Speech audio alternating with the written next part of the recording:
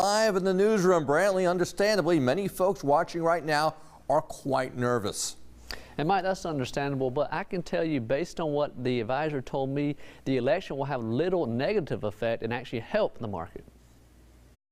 With the election around the corner, some are concerned that investing in the stock market could be a bad idea.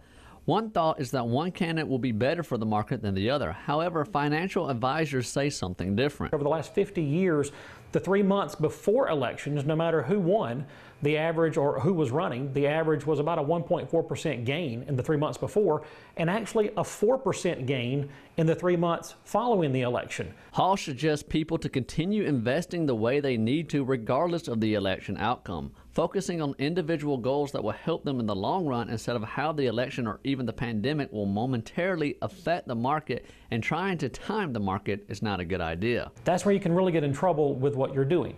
Because what we see right now is you may be asking the question, well, if this person wins, I don't want my money in the market.